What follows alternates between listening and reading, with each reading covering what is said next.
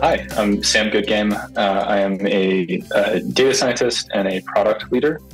Um, I started my career in uh, the U.S. military as an infantryman, and uh, the Georgetown Certificate in Data Science was actually the platform that I used to get into this field. Um, so it was the it was the first stepping stone that I took into the world of data science. Um, have worked at a handful of startups, um, tiny ones up to a, a, tech unicorn. Most recently, um, Morning Consult, um, leading data science and a product team there. Um, and I love this field. I've been teaching at Georgetown for the last five years.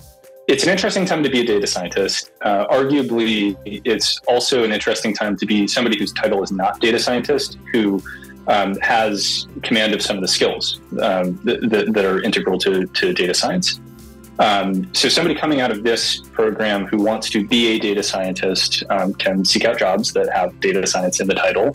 Um, there are also sort of uh, related roles um, that, that, are relevant that maybe aren't data science roles, but can be a good starting point. So, there are a lot of analysis roles, um, business intelligence roles that oftentimes people will start with um, and then transfer internally at that company once uh, you know once once they're able to.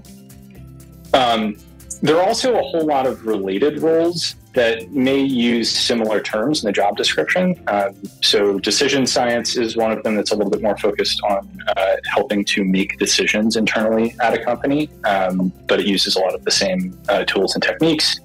Uh, there are a plethora of engineering roles that um, are using data science skills. Uh, so, data engineering is a uh, it's a it's a sister role to data science data scientists do data engineering. A lot of data engineers do data science as well. Um, and it's not uncommon for data scientists to end up becoming data engineers uh, or vice versa. Um, machine learning engineering, machine learning operations, um, AI operations is a, a term that's uh, sort of coming into vogue. Um, data science is a team sport, uh, and there are a lot of different functions that are necessary to, to, to make it possible the Georgetown program uh, is designed to give exposure to a lot of the different things that need to happen through the course of the data science pipeline to produce results.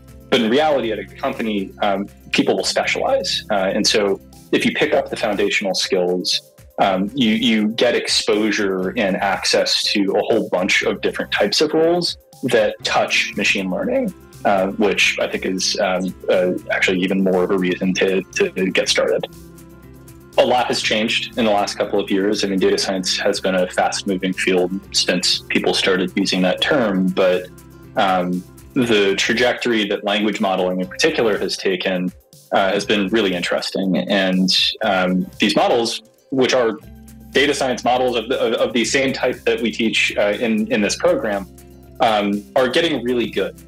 Um, and so, in my mind, that means a couple of things. Um, first of all, actually understanding what's happening under the hood with any of those, with any of you know the GPT-4 or the Anthropic Claude models, um, fundamentally, those those are no different than the other classical machine learning techniques that we teach uh, in the Georgetown Certificate Program. So actually understanding what's going on um, is the same. It's the same process. Um, second, you can learn faster.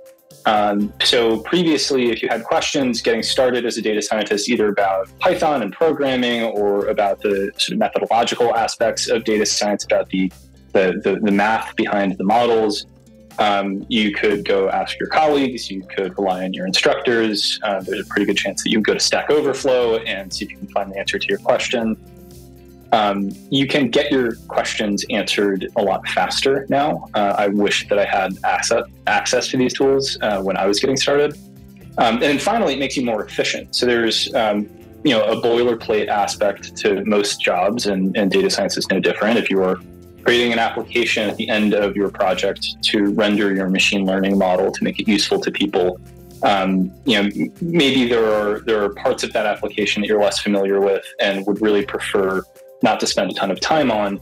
The process of getting up to speed really quickly on an adjacent technology to the one that you're working with or comfortable with um, is it, it's a lot faster. Um, and you know now there are code generation models um, that are you know even even built into the uh, editor that you use that make that process a lot faster and more enjoyable. So um, I actually kind of envy a lot of the students who are just getting started now because they have powerful tools at their disposal.